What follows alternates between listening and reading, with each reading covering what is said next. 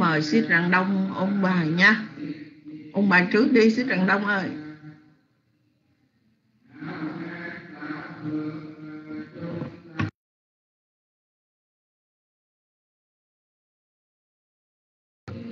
Dạ dạ. Dạ con sơ ý quá. Dạ con kính thỉnh à, đại đức tuệ đức lên ôn bài trước. Dạ dạ đại đức tuệ đức có trước máy không? Con kính dân mất đến sư dạ dạ kính thỉnh sư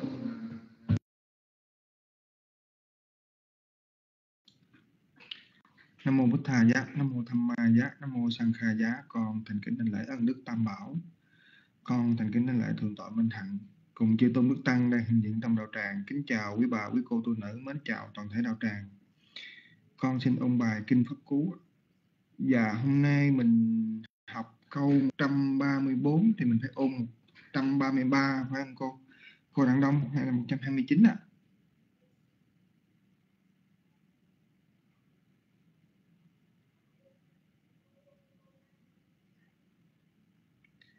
Dạ, 133, dạ.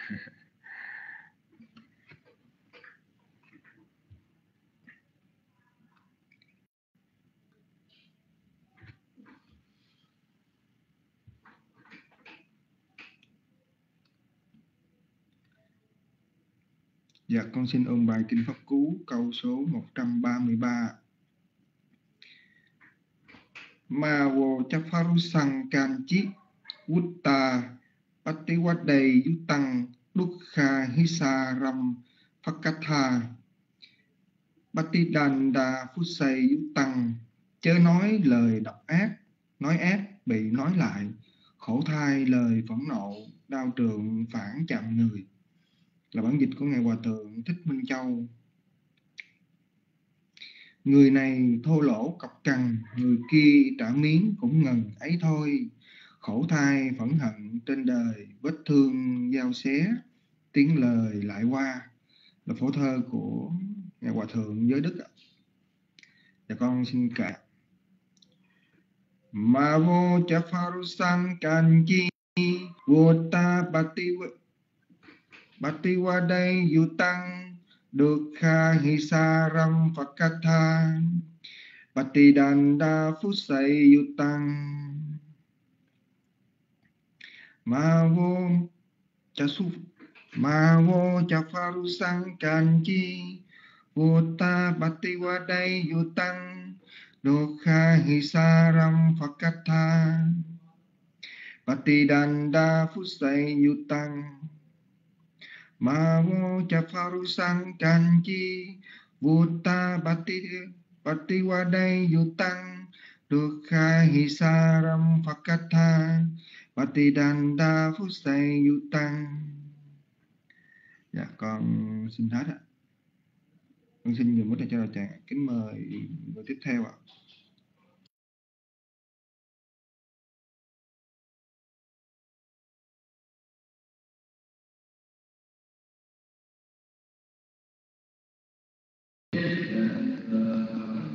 Dạ sa thú sa thú, dạ sa thú đại đức tuệ đức. Dạ mời quán thanh nha.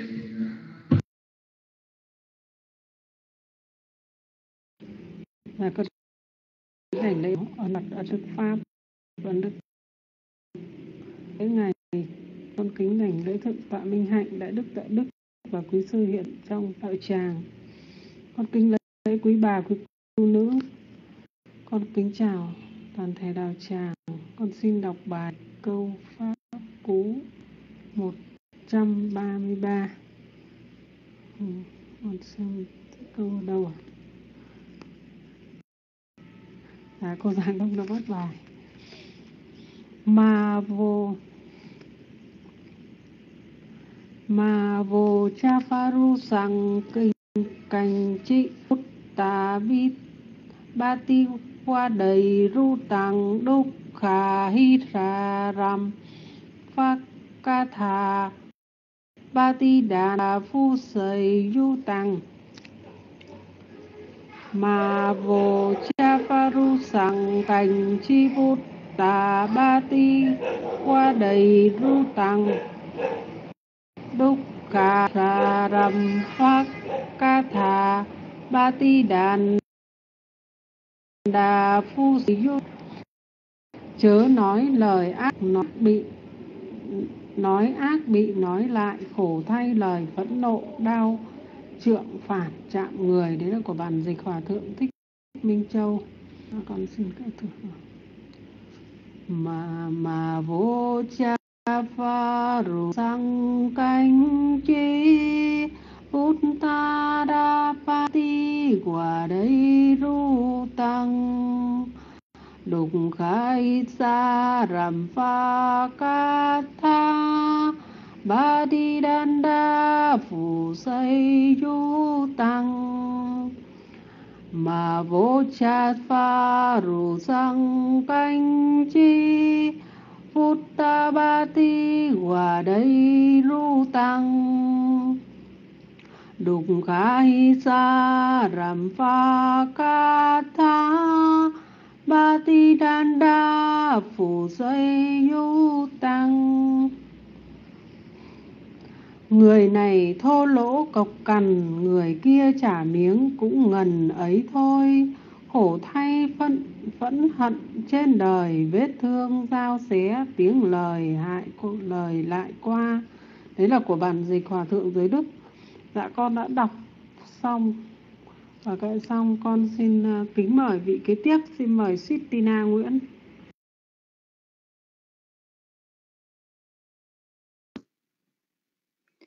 Con kính đảnh lễ ba ngôi tam bảo, con kính đảnh lễ quý sư, quý bà, quý cô tương nữ, con kính chào đạo tràng. Con xin phép được đọc câu pháp cú số 133. Ma wo cha pha ru sang can chi hun ta pa ti wa đầy yu tăng. Chúng kha hi sa ram pha ca tha pa ti tan đa phu say yu tăng. Ma wo cha pha u sang can chi wun ta pa ti wa đầy yu tăng. Chúng kha hi sa ram pha ca tha pa ti đàn đa phu say yu tăng chớ nói lời ác độc nói ác bị nói lại khổ thai lời phẫn nộ đau trượng phản chạm người của hòa thượng thích minh châu. Mà vua cha pha ngư sang khan chi quân ta pa ti wa đấy yu tăng đường thọ hi sa ram pha khát thá, pa ti dan da phù say tăng mà wo cha pha ru sang khan chi wun ta wa đấy yu tăng sa va say yu Dạ thưa con đã đọc xong, con kính tri ân quý sư và đạo tràng. Con kính mời vị kế tiếp.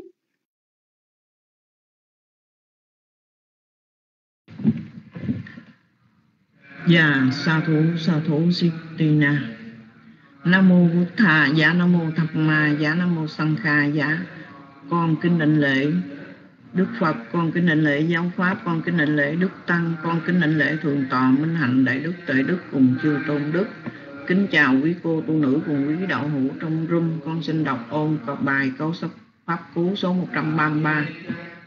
Ma vô chá, phá rú săn canh chí, Vutta phá tí quá đi vú tăng, Đúc kha hí sa râm pá cá tha, Bá tiết đàn đà, cú xây cú tăng.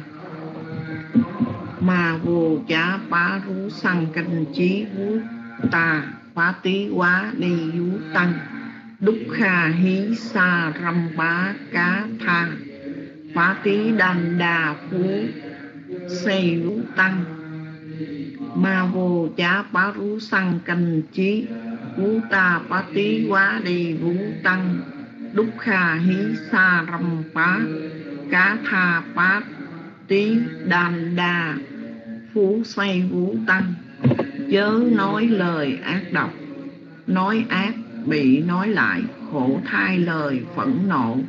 Đau trượng phạm phản chạm người bản dịch của hòa thượng châu người này thô lỗ cọc cằn, người kia trả miếng cũng ngần ấy thôi. Khổ thai phẫn hận trên đời. Quết thương thương giao xé, lời, tiếng lời lại qua bản khổ tơ của hòa thượng giới đức. Và mến mời bàn tay của sư Trạng Đông. Sa thú, cô cảm Nhân con kính đảnh lễ ba ngôi tam bảo, ân đức Phật, ân đức Pháp và ân đức Tăng. Con kính đảnh lễ chư tôn đức trong đạo tràng. Con kính đảnh lễ thượng tọa minh hạnh đại đức tuệ đức. Con kính chào đạo tràng. Dạ con xin sám hối. Con à, vô trễ thành ra hơi lu bu chút, không có chuẩn bị bài. Đúng, con xin sám hối sau đây con xin kính đọc câu pháp cú số 133 Ma vô chá phá rú sằng cành chí vũ tà bá tí quá đầy vú tầng đúc khà hí xà rầm phá cá thà, bá tí đành đà phố dày vú tầng Ma vô chá phá rú sằng cành chí vũ tà bá tí quá đầy vú tầng đúc khà hí xà rầm phá cá thà bá tí đành đà phú sầy vú tăng. Mà vô chá phá rú sằng cành chí vũ tà bá tí vá đầy vú tăng, đúc khà hí xà rầm phá ca thà, bá tí đành đà phú sầy vú tăng. Chớ nói lời ác độc, nói ác bị nói lại, khổ thai lời phẫn nộ, đau trượng phản chạm người bản dịch của hòa thượng thích minh châu. Ma vô cha phá rú sằng cành chí, vú tà bá tê va đầy vũ tầng đúc khà hí xà rầm phá cá thà, bá tê đành đà phú sầy vũ tầng người này thô lỗ cọc cằn, người kia trả miếng cũng ngần ấy thôi. Khổ thai phẫn hận trên đời, vết thương giao xé tiếng lời lại qua bản dịch của hòa thượng giới đức. Dạ à, rạng đông thấy à, không biết có còn ai kể nữa không? Cũng chưa thấy giảng sư vào vậy chắc rạng đông phải để băng nha. Rạng đông à, xin để băng để chờ.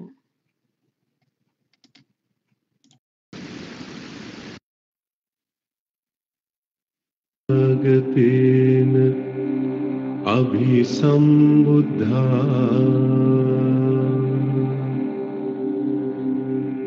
චක්කුකරණී ඥානකරණී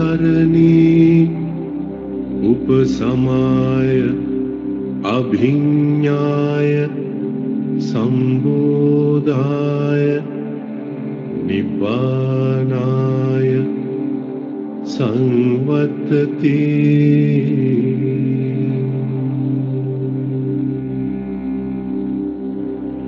कतमाच सा भिक्खवे मज्जिमा पटिपदा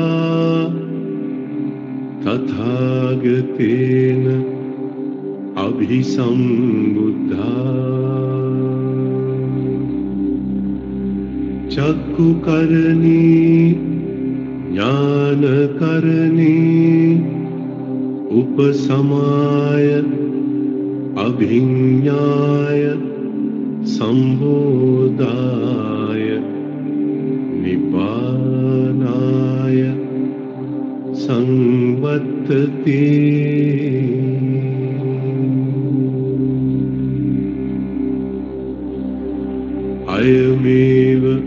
Maria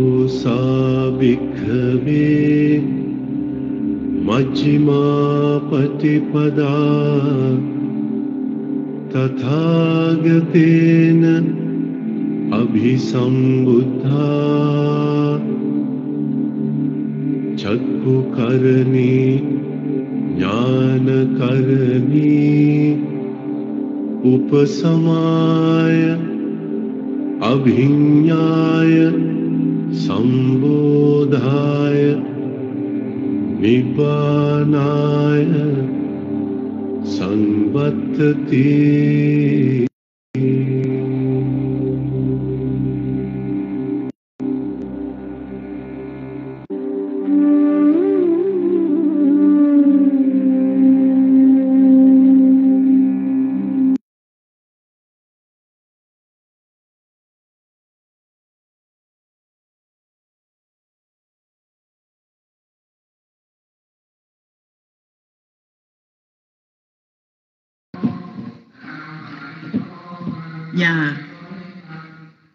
con kính đảnh lễ thượng tọa tệ quyền và con kính đảnh lễ thượng tọa minh hạnh, đại đức tuệ đức cùng chư tôn đức. Kính chào quý phật tử, kính mời quý phật tử cùng cảm dân thịnh pháp sư.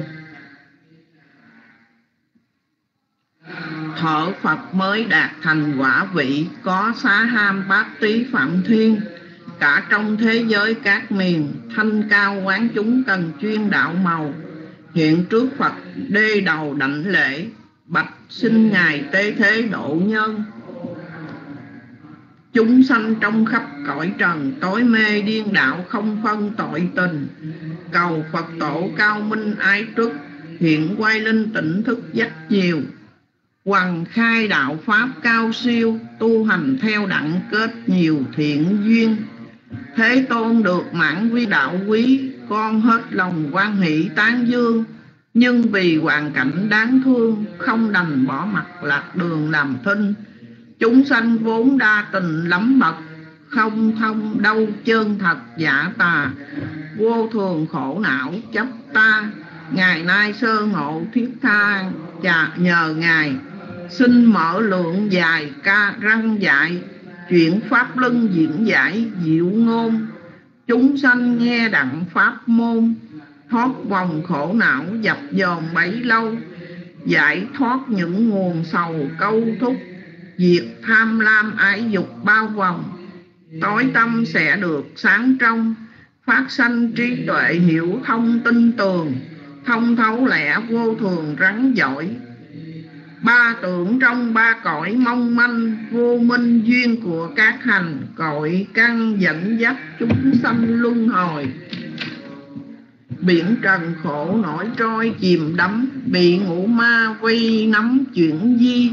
Vậy nên cầu đấng từ bi, tạo thuyền bát nhã rải đi vớt người. Đưa qua chốn tốt tươi yên tịnh, bờ niết bàn chẳng dính trần ai như đèn rọi suốt trong ngoài, chiếu tia sáng khắp các loài hân hoan. Pháp ví như, pháp ví trống khải hoàng rầm rộ luật ví như đại cổ hoàng dương, kinh như dây buộc trên trường luật luận như mặt trống vẹt đường vô minh. Tứ diệu đó, đế đó hình dùi trống, giống khua tan giấc mộng trần gian chúng sanh tất cả bốn hàng, như sen trong nước, minh quang luôn chờ. Trời ló mọc đặng nhờ ánh sáng, trổ qua lành rải tản mùi hương, pháp màu ánh sáng phi thường. Chiếu khắp ba cõi rõ đường an vui. Phạm thiên vẫn ngậm ngùi khẩn quản phật nhậm lời nhưng chẳng dĩ hơi. Quyết lòng mở đạo dạy đời, nhắm vườn lộc giả ngày dời chân sang thuyết pháp độ các hàng đệ tử có năm thầy thính dự pháp từ đó là nhóm kiều trần như, được nếm hương vị hữu dư niết bàn. Rồi từ đó mở mang giáo pháp 45 hạ giáp vẹn toàn. Một lòng chẳng thối không mòn những điều lợi ích hằng còn lâu năm. Cả tam giới thừa ân phổ cập. Đám mưa lành rưới khắp thế gian bởi nhân cớ tích rõ ràng, thỉnh ngài thuyết pháp nói đàn từ bi. Chúng sanh ngồi khắp chốn ni, tối mê cầu được tri tri vẹn toàn. Và chúng con kính thỉnh thượng tọa tệ quyền bài học câu pháp cú số 134 ngày hôm nay. Và con kính dân mít đến thượng tọa tệ quyền. Và con kính dân mít đến sư Nam mô Bụt Thầy, Nam mô Tham Ma, Nam mô Sang Khai, với thưa để chúng được nghe rõ. Dạ cảm ơn Trần Đạo cùng đại chúng. Chúng con thành kính đại lễ Đức Phật đến giáo pháp và chúng tăng kính lễ đến thượng tọa Minh Hạnh để Đức tự Đức cùng chư tăng đang hiện diện thân chào đến quý tu nữ cùng sư Phật tử. Và bây giờ chương trình đầu tiên tức là sẽ chương trình thích nghĩa của câu pháp cú số 134 công một số cú ờ, trong phẩm ác này thì 33, 34 nó là một duyên sự chung. Thì hôm qua chúng ta đã nghe, hồi lúc ờ, cái bài trước chúng ta đã nghe các vị đã tịch nghĩa rồi. Thì bây giờ coi tới cái câu ờ, thứ hai, tới câu thứ 134 này. Để cảm ơn cô Rạng Đông. Cái câu đầu tiên tức là sách chê nê rê sĩ tà năng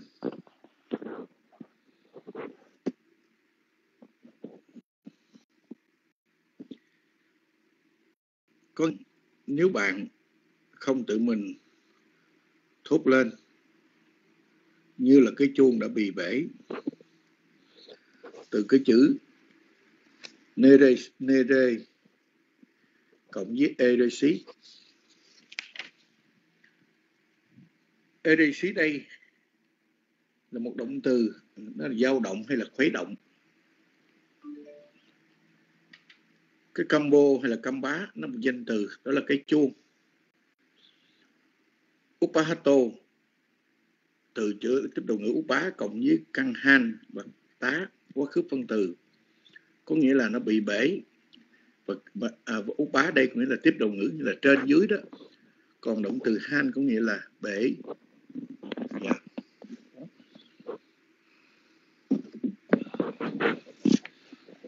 Yeah đó là một phần à, đó là một phần chúng tôi thích nghĩa nhanh một chút xíu còn cái qua cái câu.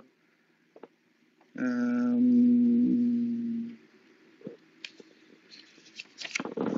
và chúng ta thấy cái chữ atta atta atta đây có nghĩa là nó gì tự ngã. Mà chúng ta thấy ở đây nó thêm có cái chữ atta năng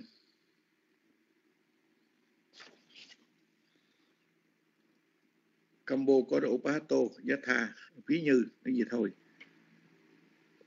Bây giờ cái thêm một cái chữ e sát e sabato si nippanang sarampo te na chính bạn đạt niết bàn, sự hận thù không tìm thấy ở bạn. Ở đây còn nghĩa pato si, pato pato từ cái chữ pato cộng với a xí đây là một một cái cái cái cái cái cái, một cái từ cái cái chữ bá cộng với căn, a bá cộng với tá, nó là một quá khứ phân từ, cũng nghĩa đã đã đặt đến. Còn chữ ê xá hay ê tá nó chỉ là một đại danh từ, chỉ thị người ấy hay là chính bạn.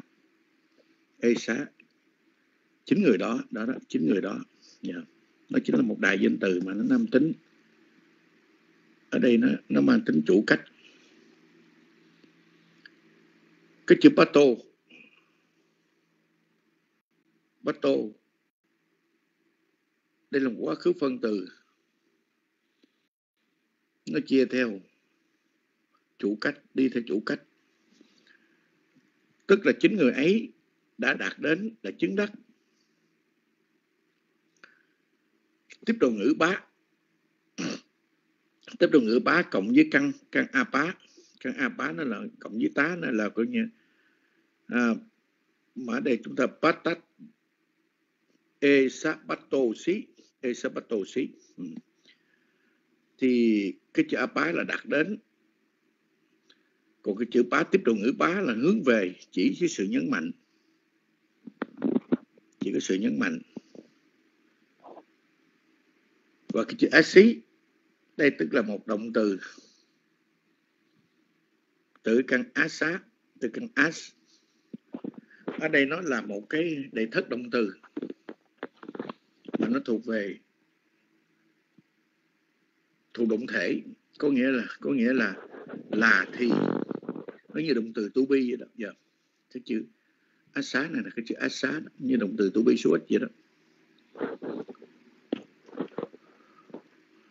Và cái chữ năng từ cái chữ nibbata, đây là một danh từ trung tính, ấm ấm chỉ cho nibbàn và cái chữ sarampo. Sarampo, từ cái chữ sarampá nó một danh từ nam tính, chỉ cho cái sự phẫn nộ, sự sân hận. Còn tê tum hát đây tức là một đại danh từ. Tức là ở chính ở chính ở chính ở chính bạn, ở chính người ấy, ở chính ở chính, ở anh, ở nơi anh. Ở đây tức là ngôi thứ hai đó yeah. T tum ha ma trong đại danh từ mà nó chia theo theo sở thuộc cách đại danh từ chia theo sở thuộc cách, nó chia tới thế thôi dạ yeah. thì chúng tôi thì bắt đầu có một cái câu nào là, nếu tự mình im lặng như chiếc chuông bị bể, người đã chứng niết bàn, người không còn phẫn nộ yeah. Dạ. đây tức là cái câu pháp cú số 134 do Hòa Thượng Minh Châu dịch và diễn vì diễn thơ tự mình nếu biết lặng yên, không còn oán hận, chẳng hiềm hại ai, như chôn đã bể tiếng rồi, ai mà được vậy? Kề nơi niết bàn của hòa thượng như đức. Dạ. thì kính thưa toàn thể quý vị, đây là một duyên sự mà gồm có hai hai câu hai câu pháp cú như chúng tôi đã nói, một duyên sự nó gồm có hai câu cú. Hai câu pháp cú này.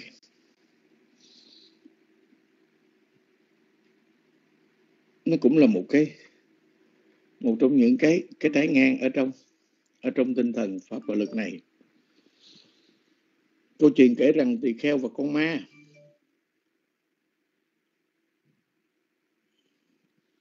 Khi ở tại kỳ viên tịnh xá đó có một vị tỳ kheo. Mà cũng rất là lạ. Để biết vị tỳ kheo này á, đi tới đâu á, luôn luôn có một bóng hình của nữ nhân xuất hiện đi theo ở phía sau. Rồi ngày đi bác thì cũng có nữ nhân nó đi theo nữa. Ừ. Phải nói rằng, chư tăng, lấy làm rất là khó chịu và bực bội.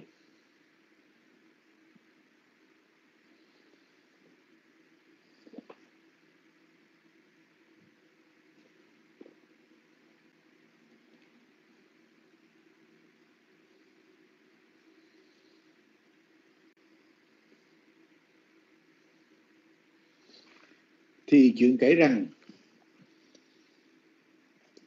vị tỳ kheo này tên là con đắc tha ná kể từ ngày xuất gia cho đến cả về sau trường lão đi đâu cũng có một hình bóng nữ nhân đi theo sau lưng. Chính trường lão thì không có thấy hình bóng nữ ấy nhưng đại chúng thì thấy. Đó một cái chuyện phải nói là trái ngang. Khi trưởng lão vào lần khất vào vào vào, vào làng khất thực các mọi người để bác một phần cho ngài xong lại để thêm đặt thêm một phần nữa. Nói rằng bạch ngài đây là phần của ngài và kia là phần của của bạn ngài. Thì đây cũng là một cái nghiệp quá khứ của tỳ kheo à, con tát tha ná này. Không phải là một chuyện đơn giản. Thì trong thời của đức phật ca diếp có hai tỳ kheo hết sức là hòa thuận cùng nhau. Chẳng khác nào như là những người thân ruột với nhau thời ca diếp tức là tiền thân của trước phật thích ca của chúng ta đó. Suốt thời gian dài, thì thời gian này á, một năm hoặc là sáu tháng chưa tăng mới nhấp họ một lần làm lễ phát lộ.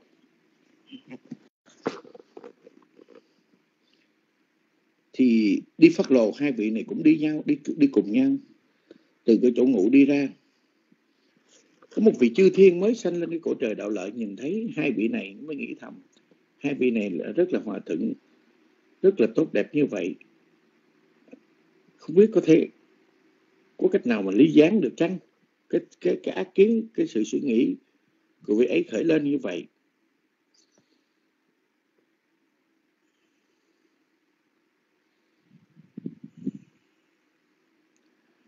Trong lúc quý vị chư thiên này do cái sự ngu muội nghĩ quấy như thế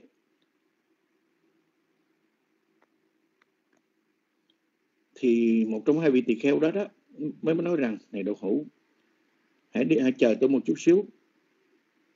Tôi có việc một chút. Thì quả thật thì vị này cũng như là đi à, đi vệ sinh một chút xíu vậy đó. Thì hồi xưa sống trong rừng mới đi tới cái bụi cây mới ngồi xuống trong bụi cây mà nó khuất một chút xíu thì đi vào bụi cây.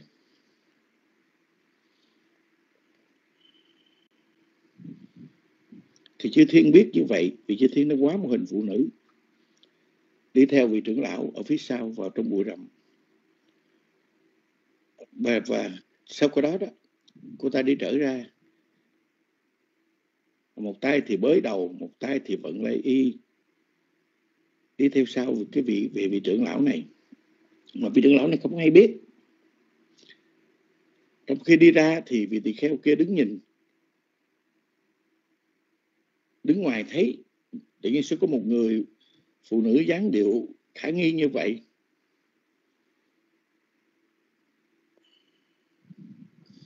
Thì khi người nữ này thấy vị kia đã nhìn thấy mình thì liền biến mất thì thì kêu ở ngoài chờ coi như là sư bạn đến gần, rồi bạn hỏi, này đầu hữu đầu hữu đã đã làm cái gì vậy? Đã phá giới rồi. Thì cái vị đó nó, ủa, tôi đâu có làm cái gì đâu.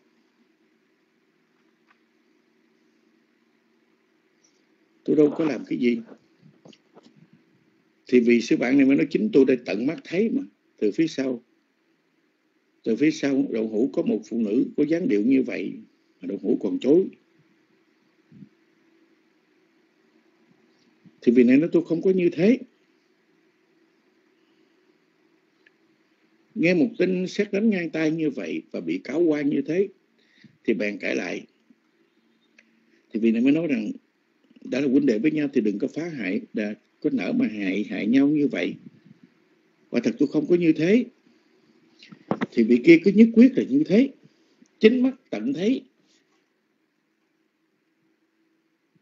Rồi vị này bẻ gãy bẻ mới, mới, mới, mới bỏ đi mới không chấp nhận. Bảo đi họ đi một mình đi bây giờ. À, cũng làm lễ một mình chứ tôi không có có thể nào mà mà mà sống chung như vậy.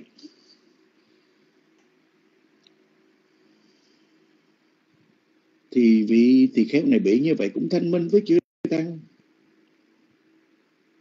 tôi đâu có một cái chút lỗi ờ, nào đâu mà tại sao mà tôi bị như thế? Thì thế là các vị không có làm lễ không có chịu làm lễ phát lầu chung. Thì vị chư thiên này mới biết rằng chết rồi mình gây một cái cái cái đại tội rồi.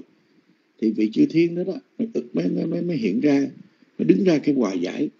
Bạch các bạch à, vị trưởng lão ờ, tôi đã vô tình đã làm như thế? Chứ hòa thực vị này không có gì cả mà do chúng tôi phá vậy thôi. Các ngài cứ làm lễ phát lồ đi. Thì khi chư thiên tử hư không nói xuống như vậy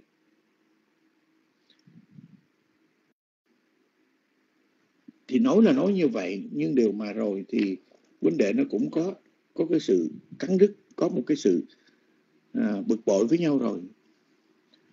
Thì cái chuyện như thế thì sau thời gian đó, hai vị tỳ kheo lên theo nghiệp riêng của mình còn cái vị chư thiên nữ này đó, thì để đọa đọa xuống địa ngục, rất là lâu dài. Cho đến đời Phật hiện tại, được tái sanh à, làm người trong thành xá vệ, đến tuổi trưởng thành đi xuất gia trong pháp và lực và được thọ cụ thuộc giới từ ngày xuất gia. Thì vì cái vì cái cái tội đó đó, cho nên luôn luôn có hình bóng của một người nữ đi theo. Thì cả chư tăng cũng cảm thấy bực bội. Mới trình bạch, mới mới báo cho ông ông cấp cô đọc cái chuyện này.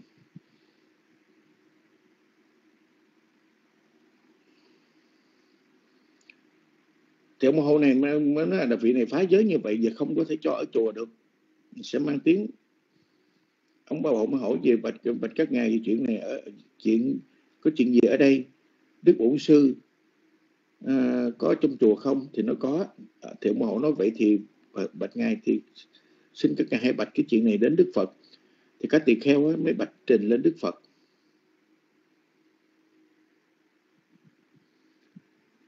Nhưng điều trước khi bạch trình lên đức phật thì các vị này yêu cầu cũng như là là là là là, là ông có cô độc hãy đuổi đi. Thì ông có cô độc nói cái chuyện này chuyện của tăng. Ông ta không có đụng chạm.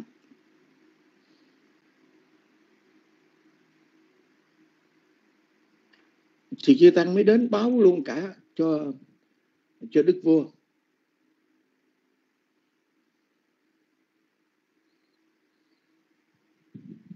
Nếu đức vua thì cũng thấy lạ.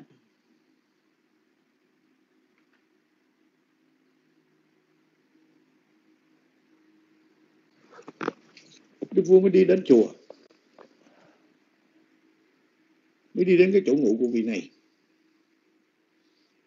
đức vua mới nói rằng nếu như mà có như thế thì ta sẽ cho lính bắt về.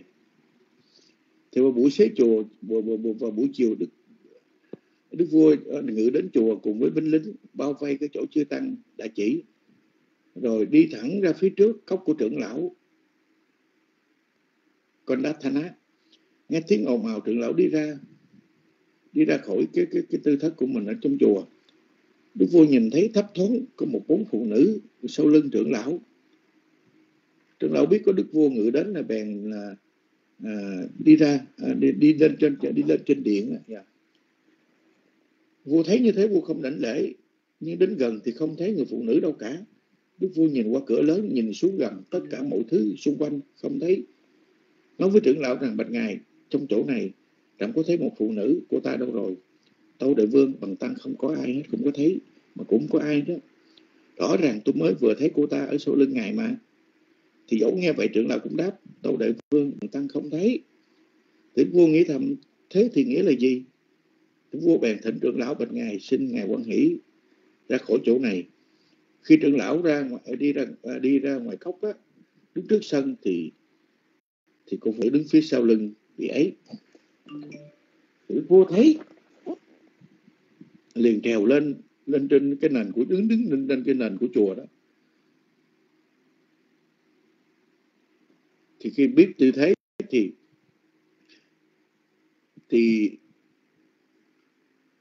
đức vua mới leo lên cái trên cao hơn nữa mới để nhìn xuống. Thì cũng không thấy. Hồi nãy tôi đã thấy cô tự cô, cô, cô, cô phụ nữ đó bây giờ đâu rồi? Trưởng lão cũng cũng trả lời như trước tôi đại vương bằng tăng không có thấy cũng không có biết. Thì vua mới nói rằng xin ngài hãy nói thật chính trẫm vừa mới thấy một phụ nữ phía sau lưng ngài mà thì nói tâu đại vương. Mặc dù đại chúng đều nói bằng tăng đi đâu cũng có một người phụ nữ đi theo nhưng thật sự bằng tăng chẳng có thấy một phụ nữ nào cả. Đức vua mới suy xét cho rằng ủa cái chuyện gì bí ẩn và bèn nói với trưởng lão? Vậy xin ngài quan hỷ à,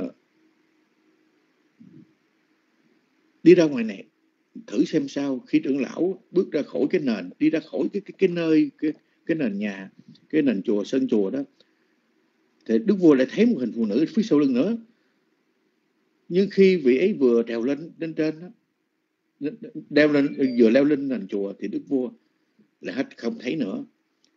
Thì vua mới hỏi trưởng lão trưởng lão lại đáp bần tăng không thấy phụ nữ ấy. Nghe như vậy đức vua nghĩ việc này có chỗ gì bí ẩn và để chấm dứt? À, à, đức vua mới nói với trưởng lão rằng bạch ngài nếu có cái phiền não gì đi theo sau ngài như vậy thì thì chấm thì chắc chắn rằng ngài không có ai cũng như là cúng dường được đâu. Thì thôi ngài hãy đến để đây để để, để, để chấm dân cúng cho ngài. Thì sau khi tỏ lời quan hỷ như vậy rồi những đức vua ra đi. Thì kheo thì các tỳ kheo mới than phiền với nhau rằng cả đức vua đó cũng ác quấy nữa. À, tưởng đâu nhờ vua đến để, để xác minh bây giờ. Ai dè ra vua cũng cũng a tòng theo theo vị này còn mời thỉnh vị này đến để cúng dường nữa thì chư tăng mới nói ông là người cũng như là đã à, đã phá giới như vậy từ trước tới nay không thể à, ông đã không không có làm đúng. Thì mang cái sự việc này bắt đầu đi đến Đức Phật. Thì Đức Phật ngài thì trước khi mà mà, mà, mà trước khi mà mà mà mà chư tăng ta tháng thì vị tỳ theo canh thánh á này mới nói một câu mà làm chư tăng cũng bực các ông thấy tôi có người phụ nữ đi theo thì các ông không có thì các ông bực bội ý các ông bực bội các ông quậy phá tôi như vậy phải không? Thì khi mà sự việc mà trình lên Đức Phật á, thì Đức Phật ngày ngày kêu cái cái tỳ kheo tỳ kheo con thánh á này tới hỏi cái sự tình như vậy có thật vậy không? Này cái tỳ kheo thể thể đã nói như vậy thì vì cái sự bực bội các thầy này nói hoài, cho nên vị tỳ kheo con cái thánh á này mới nói một cái câu cũng hơi hơi sốc. Thì tại thầy nói với các thầy như vậy cho nên thầy ấy có một phụ nữ đi theo như thế này và có phụ nữ đi theo như thế kia, thì các thầy không có vì các thầy mới nói như vậy.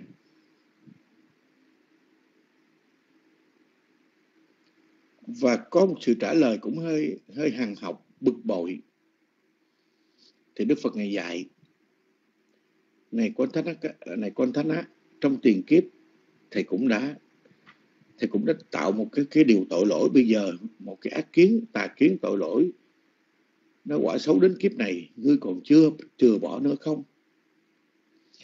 Thì Đức Phật ngài mới mới trình báo ngài mới nói kể về một cái tiền kiếp.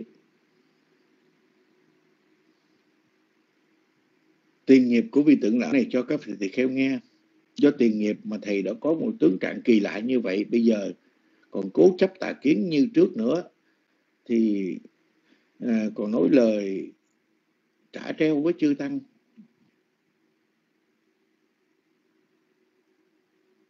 Này con thắc á ngươi hãy biết ngươi hãy là người câm lặng như chiếc mỏ đã bể miệng. Làm như vậy ngươi sẽ chứng đạt được niết bàn. Rồi đức phật ngày lâm ngâm lên hai cái bài kệ.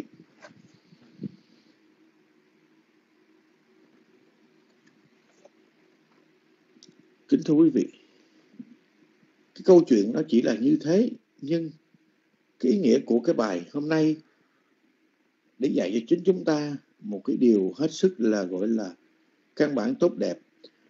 Chớ nói lời độc ác, nói ác bị bị nói lại, khổ thay lời phẫn nộ, đau trượng, phản phạm người. Nếu tự mình im lặng như quả chôn bị bể, như quả chôn bể miệng, người đã chứng niết bàn sẽ không còn phẫn nộ thì ở đây ý nghĩa của cái lời nói ác khi dùng cái lời thô xấu nói ác người khác á hay người khác dùng lời thô ác nói xấu với người thì tất cả là những cái sự nóng giận chỉ có người làm cho người đau đớn khó chịu. Nếu như mặc nhiên như cái như cái bể như cái đồng nó, nó cái đồng la nó bể hay là hay là cái hay là cái chuông hay là cái mỏ gì mà đã bể trước những người những cái lời thô tục cãi vã đến với mình tức là người đã tự tạo ra cái con đường niết bàn chẳng sao tranh cãi được nữa. Thì kính thưa quý vị từ cái chữ kinh trí đừng nói cái lời thô ác.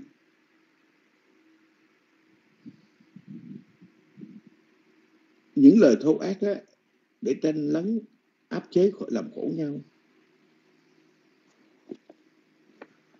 Ở trong đời này khi chúng ta hiểu lầm khi chúng ta bực bội, chúng ta luôn luôn mang tới cho họ những binh đau những lời nói ác xấu, những cái lời nói thậm tệ.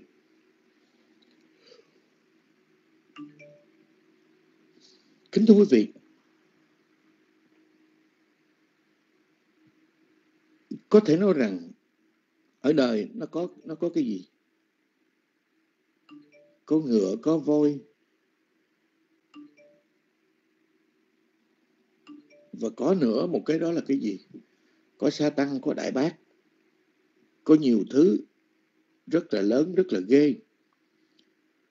Nhưng không chỉ là cái hành động đánh chém giết nhau bằng vũ khí, mà có người còn đánh chém giết nhau bằng một binh khí miệng lưỡi.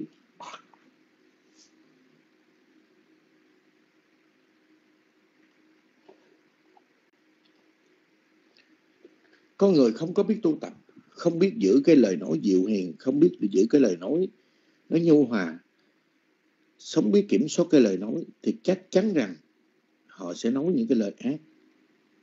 Đây là cái sự thật.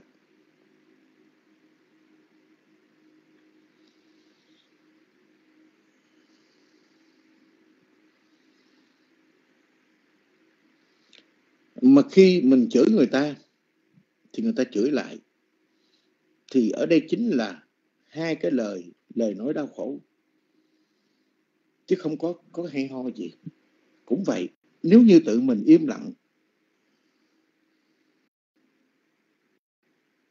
thì sự im lặng này, hay là cái sự chịu đựng này, quán về cái nghiệp, quán về cái nhân quả của chú nói chút xíu, thì Đức Phật Ngài dạy như thế nó mắng tôi đánh tôi, cúp giật của tôi ai ôm ấp. Thì đau khổ sẽ không bao giờ nguôi, mà không ôm ấp thì đau khổ sẽ tự nguôi. Đừng có chấp ngã. Ở đây có nghĩa rằng đừng có chấp ngã. Thì chúng ta chứng niết bàn. Đừng có khởi lên cái sự phẫn nộ, cái sự khó chịu. Thì chúng ta chứng đắc niết bàn. Bởi vì cái đó mà cái tu. Hôm qua chúng tôi có giảng ở trong cái room đó, có một phật tử tôi hỏi cái đời sống của một người tu thì nó là khác cái đời sống của một người bình thường. Làm sao cho một đời sống nó được an lạc? Thì làm sao cho một đời sống được an lạc cái đời sống đó? Cái đời sống phải biết phải biết chịu đựng phải biết buông bỏ phải biết nhận phải biết kham nhẫn phải biết chịu đựng biết tránh né à, phải biết tu tập.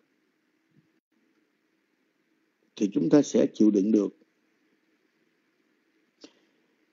Khi khổ đau buồn vui trên cuộc đời này nó xuất hiện chúng ta biết đối diện với nó. Không than trách không thở sợ không à, khổ sầu thở than không trách móc trời gần trời xa mà chúng ta đối diện với chính nó chuyện nó đã tới rồi, thì tới. Nếu một người mà biết hiểu về cái cái cuộc đời như thế, thì chúng ta tu rất là tuyệt vời. Và cũng hãy nhớ rằng, tất cả những chuyện vui những chuyện buồn ở trên nhân thế này rồi cũng sẽ đi qua thôi. Không có chuyện gì mà nó vĩnh viễn nó tồn tại bao giờ cả. Áp lực nặng nề, mệt mỏi, đau khổ, chán chường rồi cũng chấm dứt. Cũng như vui thật là vui, rồi cũng đi qua. Buồn thật là buồn, rồi cũng sẽ kết thúc, bởi chính đó là sự cảm thọ. Hay là cảm xúc? Xúc thọ này là một trạng thái của tâm. Nó diễn tiến, nó làm việc. Thì tâm có thể lúc vui, tâm có lúc buồn, tâm có lúc vừa lòng, tâm có lúc không vừa lòng, tâm có lúc phẫn nộ sân si. Vì sao vậy? Bởi vì không biết nhiếp phục tâm, bởi không biết giải tâm, bởi vì không biết kiềm chế cái tâm. Không biết thắng đạt cái tâm. Cho nên, nói về hành động ác, thì đau khổ ác sẽ dẫn dắt chúng ta đi từ đau khổ này đến đau khổ nọ. Kính thưa quý vị quả thì là chúng ta yên lặng nhưng không dễ dàng yên lặng giữa cuộc đời, đời bảo tồn đâu nếu chúng ta bị một cái một cái hàm oan chúng ta bị người ta đặt điều đặt chuyện thì đó là một cái nỗi niềm khủng khiếp.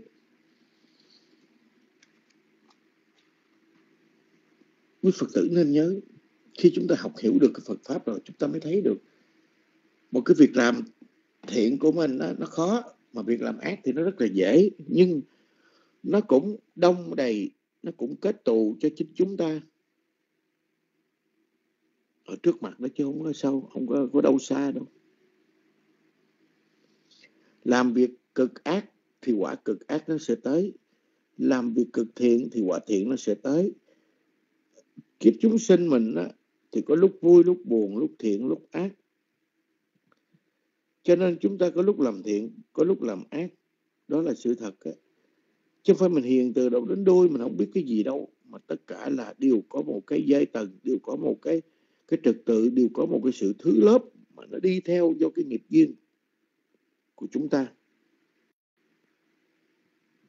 Nhiều khi chư Phật tử muốn tu mà không có chỗ muốn tu mà không có cái điều kiện, không có thời gian như mình tính, như mình muốn, trong chuyện đơn giản đâu. Hay hoặc là nhiều khi mình không chọc, không ghẹo gì hết mà tự nhiên nó tới với mình. Không có chuyện tự nhiên nha quý vị ha? Không có chuyện tự nhiên. Nhưng nếu mà chúng ta biết suy quán về nghiệp quả, chúng ta biết suy quán về cuộc đời, suy quán về tam tướng là vô thường, là khổ não, là vô ngã thì chúng ta rất dễ tu. Và chúng ta rất dễ chịu đựng. Chúng ta có lối thoát. Có một số người mà bị dồn vào họ không có có có có có có thể nói lên. Tức là à, bị hàm quan mà thật sự là oan oan thật á. Thì oan nói theo một cái tinh thần là là là là là oan nghiệt cho chính họ như vậy. Nhưng không đơn giản. Như đã nói như một viên đạn lạc như một sự vô tình nó xảy ra tới mình thì chúng ta cho là vô tình. Nhưng sự thật đó là một nghịch duyên mà họ đã tạo. Bây giờ họ phải trả. Họ phải chịu và họ phải trả quả của chính nó. Họ phải trả quả. Và từ cái trả quả đó, họ phải chịu tất cả những cái hành động của mình đã tạo.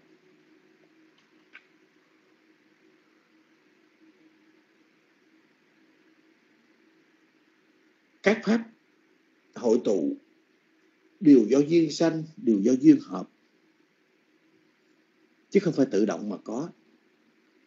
Không phải tự động mà mất mà nó đều là một một cái tướng trạng đều là một hành động đã được tạo tác. Nhưng kiếp của con người đó thì mình nghĩ rằng mình đâu bởi vì mình đâu có thấy được tiền thân, cho nên mình cứ chấp chấp ngã, chấp hữu ngay hiện tại này. Tôi đâu có làm cái gì đâu mà sao tôi như là có như là tôi phải như thế này, tôi phải như thế kia. Sự thật.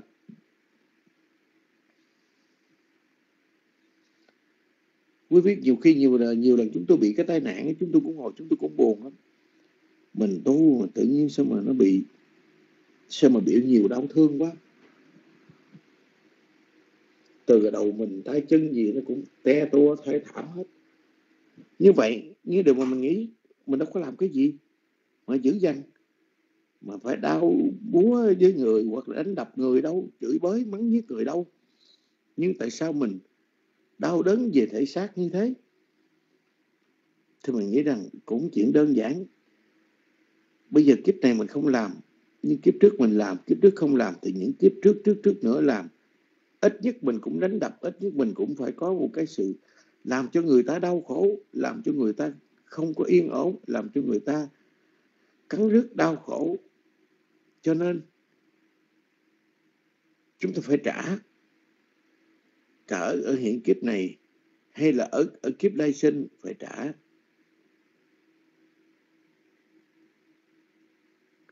Đó là cái điều sự thật. Không ai mang cho mình không ai giúp cho mình cả. Nếu chúng ta suy nghĩ đó quý vị còn ở đây tức là sao? Khi chúng ta hiểu như vậy thì mọi việc mọi điều chúng ta biết yên lặng. Chúng ta biết kham nhẫn chúng ta biết tránh né thì mọi chuyện nó, nó sẽ né nó tránh mình. Còn nếu như chúng ta không biết tránh biết né thì chuyện nó tới là chết. Nếu chấp ngã chấp hữu thì không còn gì phải nói nữa.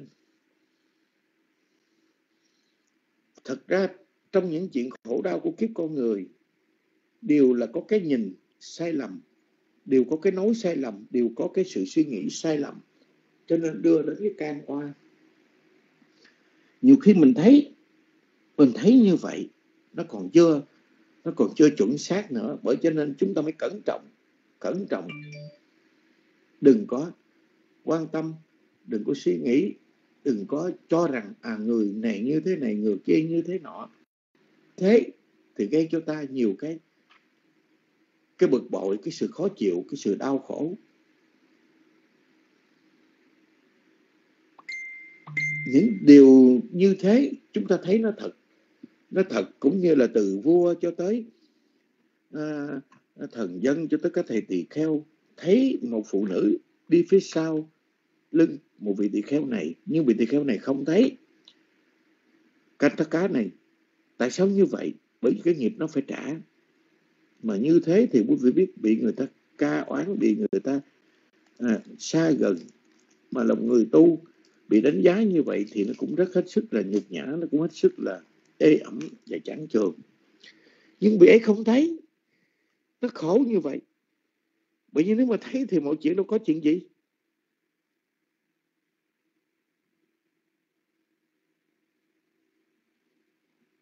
Cho nên ở đây, khi hiểu như vậy, biết như vậy, chúng ta không bao giờ tự suy xét, chấp nhận, chạy theo cái hình bóng hay chạy theo một cái cái lý của cuộc đời. Và chúng ta nhớ rằng Phật pháp dạy cũng rất là hay, chưa đắc thánh, chưa đắc thánh thì đừng nên tin tâm mình, đừng nên đừng nên chạy theo tâm của mình mình nói rằng à, người này đúng người kia sai. Cho nên người đó nói đúng thì một trăm phần đều đúng. Người này nói sai một trăm phần đều sai cũng phải như vậy.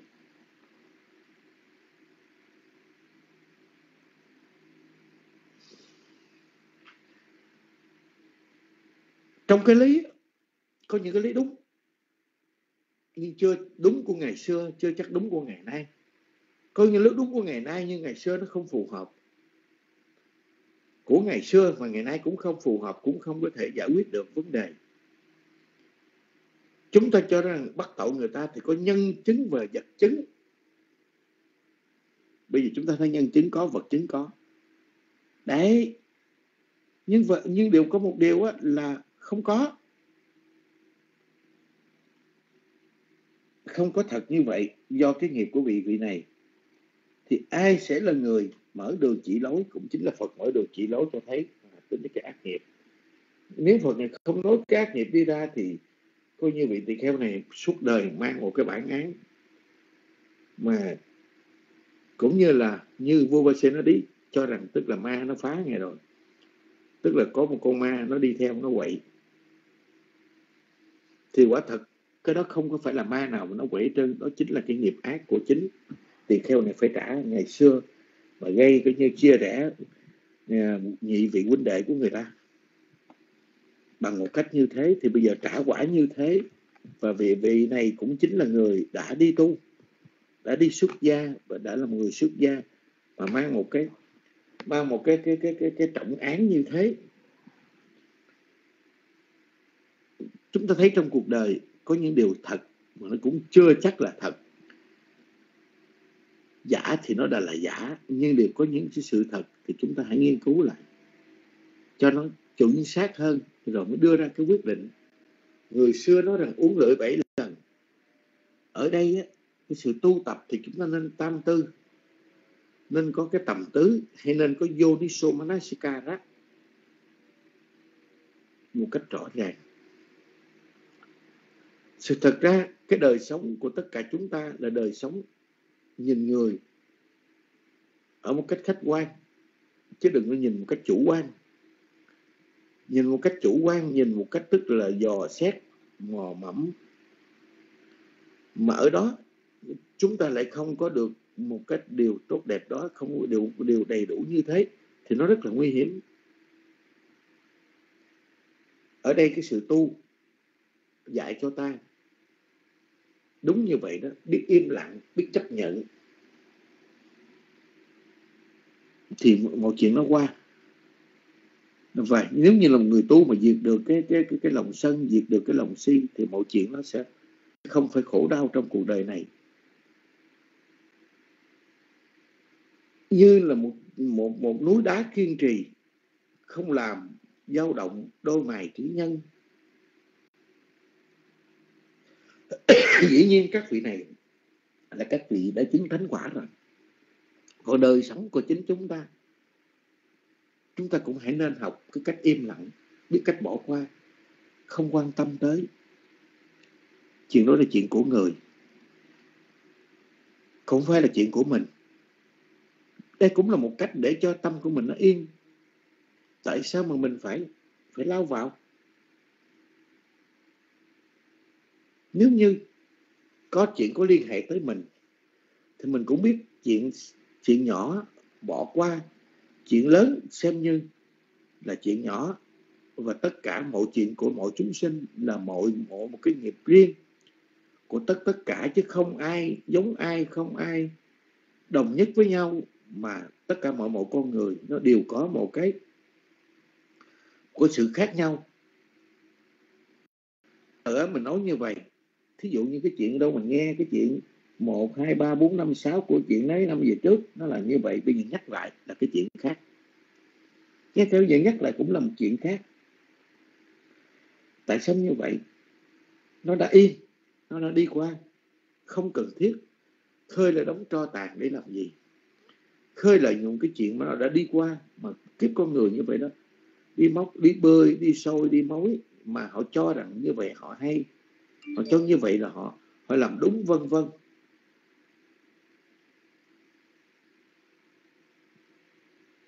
Thì tất cả mọi con người đều có quyền giải quyết mọi vấn đề chính mình. Theo ở một cái tinh thần xấu hay là tốt, được hay là không được cái gì. Nhưng ở đây Đức Phật ngài luôn khuyên, buông bỏ cái sự nóng giận, buông bỏ cái sự oán thù. Thì oán thù nó không không theo ta chỉ có lấy cái đức tính tha thứ buông bỏ thì mọi việc nó bình yên. Còn nếu như không có cái cái tính buông bỏ, không có cái tính chịu yên lặng, chấp nhận, thì sẽ đau khổ. Cái nghiệp nó tới đó quý vị. Mình cũng đối diện với cái nghiệp. Rồi cái nghiệp nó đi qua. Chứ chúng ta đừng bao giờ nói rằng chúng ta trốn tránh, thì trốn tránh ở đâu cũng không thể nào tránh trốn được mà chuyện ở nơi đâu, rồi cũng sẽ, chuyện đó nó cũng rồi cũng sẽ sẽ đi qua. Đó là cái sự thật. Không thể nào mà nó hiện hữu ở trong cuộc đời này mãi mãi. Cho nên chúng ta cũng đừng có phải mà quá nhiều lo lắng. Có những cái điều tốt, có những cái điều xấu, có những cái điều vui có những cái điều buồn gì mà chúng ta biết chấp nhận hết. Thì cái nghiệp nó đi qua. Thì thiện ác khôn lường. Tâm của chính mình là tâm thiện. Hôm nay, bây giờ tâm thiện chút xíu nữa tâm ác. Bây giờ tâm ác một chút xíu nữa tâm thiện. Bây giờ thiện tâm, bây giờ chút xíu nữa ác tâm. Vân tâm, sân tâm, si tâm, vân vân. Có thể là liên tục như vậy. Bởi vì trạng thái của tâm này nó vô thường. Và cái sự thay đổi theo cái cái duyên cái duyên, cái nghiệp của từng của từng người, của từng cá thể, chứ còn không có mà đặt. Một cái chỉ số nào, nó là một chỉ số nào gọi là giống nhau cả. Cho nên vì vậy, là một người hiểu biết Phật pháp, là một người có cái sự tu tập, nó là một chuyện khác. Họ biết đối diện đối diện với nghiệp quả của chính mình mà không có trách móc trời gần trời xa, không có phải khổ đau, không có phải mà sân hờn, giận dỗi, mệt mỏi oán hờn hoàn toàn không có. Mà rất trân quý, rất hiểu biết. Rồi phàm sở hữu tướng giai tụy hư vọng. Tất cả pháp nó vô thường, tất cả pháp nó khổ não, tất cả pháp nó vô ngã. Rồi, đau đớn, thật là đau đớn. Rồi nó cũng đi qua. Đau đớn đau đớn từ tinh thần thể xác rồi nó cũng sẽ cảm thọ, nó cũng cũng sẽ chấm dứt nhờ chúng ta hiểu như vậy, biết buông như vậy, biết bỏ như vậy, thì chúng ta mới gần niết bàn được, chúng ta mới gần, chúng ta mới có cách được thoát khổ. Chứ nếu như mà chúng ta cứ nghĩ là khổ vô khổ hết, thì không thể nào mà chấm dứt được khổ. Nó chưa có phát huy, nó chưa có phát triển. Chứ nếu như nó phát triển rồi, thì không còn gì mà đối với cái ác. Cho dù bay vút lưng trời, cho dù đáy biển trốn thời được đâu, cho dù núi thẳm hay sâu, không nơi nào thoát quả sầu đã gieo. Cho nên dầu chúng ta có làm việc ác, thì có trốn tránh bất cứ nơi nào, thì quả sầu nó cũng đi đến. Rồi chúng ta làm nhiều nhiều cái thiện phước thiện sự, thì lúc nào cũng sẽ được nhiều cái cái sự an lành. Đó là cái sự thật, chứ không ai có thể giúp ai, không ai có thể bỏ qua cho ai được. Vân vân và vân vân thì kính bạch quý ngài kính thưa quý vị, hôm nay câu pháp cú số 134 này mục đích để tất cả chúng ta phải biết đối diện, phải biết chấp nhận. Mà Đức Phật ngài dạy như là một cái quả, như cái chuông mà nó bể miệng, hay cái chuông mà nó đã bể rồi thì nó không kêu cái tiếng được nữa. Thì người mà biết buông bỏ cái sân hận, người biết buông bỏ cái ái chấp, cái sự oán hận, thì người đó sẽ gần niết bàn, cũng như tất cả chúng ta. Chúng ta biết buông bỏ, biết xả chấp, biết khâm nhẫn, biết tu tập thì tất cả chúng ta sẽ được an vui. Nó như thế thôi. Dạ. Thì khi chấm dứt thời gian thức ở đây nếu có điều chia sẻ tất kính ơn mong toàn thể quý vị quan nghĩ cho kính uh, dân phật vương lành để đức trời đức thích từ đại thiên vương các vị chư thiên hộ trì chánh pháp nhất là các vị chư thần chư thiên người tài à, ở chùa đức chùa quảng nghiêm cũng như các vị chân linh giác linh ký linh tất cả chúng sinh ở nơi hai chùa. Mong tất cả được an lạc được tấn hóa và hướng nguyện phần công đức này đến các bậc thầy tổ thân bằng quyến thuộc của chúng tôi cho tất cả được an lạc được tấn hóa trong Phật pháp. Nam mô Bụt Thầy Giá, Nam mô Tham Ma Giá, Nam mô Sang Ca Giá. Sa thu sa thu lần thay và thay mặt đại chúng trong room con xin được thành kính truyền thượng tọa tề quyền đã từ bi hoan hỷ thuyết giảng từ vựng. Ý nghĩa vào duyên sự bài kinh pháp cú số 134 đến học Phật tử chúng con để chúng con học, hiểu và hành trao cho được sự lợi ích và sự tiến hóa. Và chúng con xin được thành kính truyền thượng tọa tề quyền và con xin được thay mặt đại chúng một lần nữa trong room kính đã cùng thỉnh đại đức minh hành từ bi hoan hỷ thay mặt cho đại đức tăng để thôi chúc phúc cho room sau khi nghe, nghe pháp nam mô bút tha gia và dạ con xin được thành kính cung thỉnh đại đức minh hành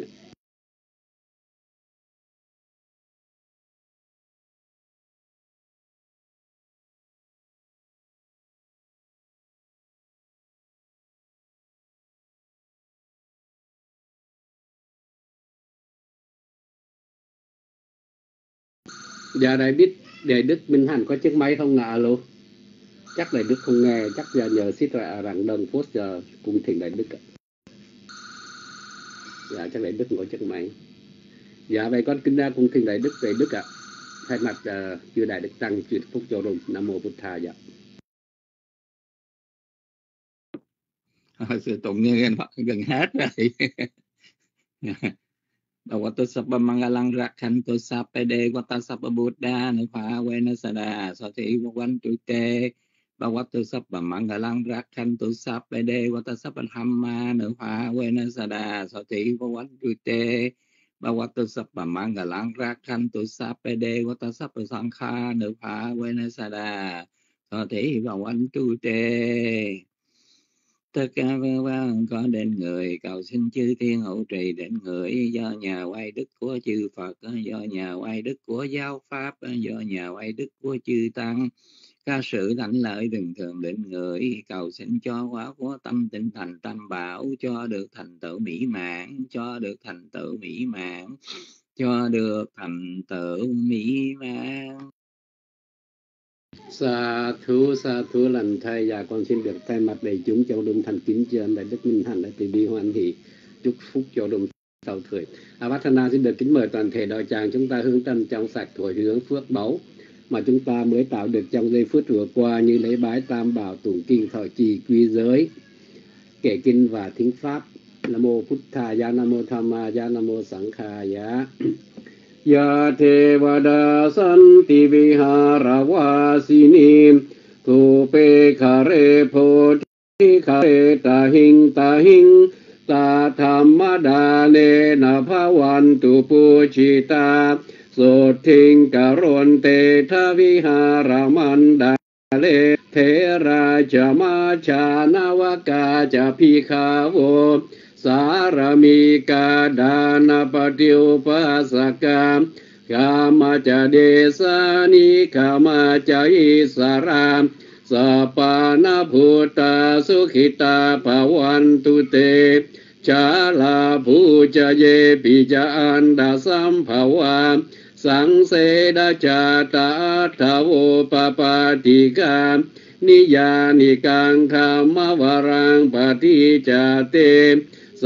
เปบิดุคาสกโรนทุสังขายังถาตุจิรังสตังธรรมโอธรรมธาราจภูคลา สังโฆตัวสมาโควะอัฏฐายะจาหิตายะจาอัมเหราคตุสัทธรรมโมสเปปิธรรมจาริโนวุทิงสัมปาปุนายามา ธรรมาอริยปเวดิเต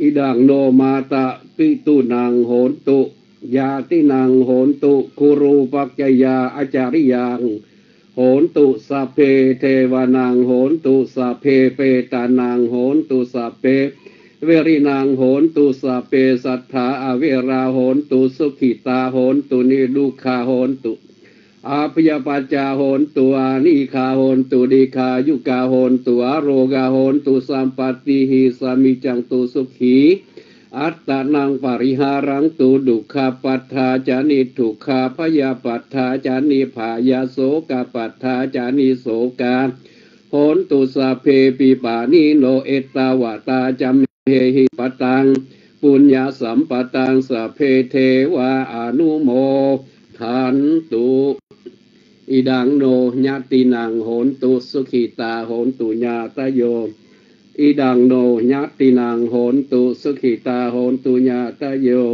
อิดังโนญาตินังโหนตุสุขิตาโหนตุญาตโยอิดังวัตโนปุญญังอาสาวขายาวาหังนิพพานัสสะปัจจโยโหตุ Dạ kính bạch cho đại đức tăng, kính thưa quý tu nữ cùng toàn thể đạo tràng và sa phần hồi hướng chương trình sinh hoạt Phật pháp trong ruộng pháp bút kinh sẽ được khép lại trong vài giây phút tới.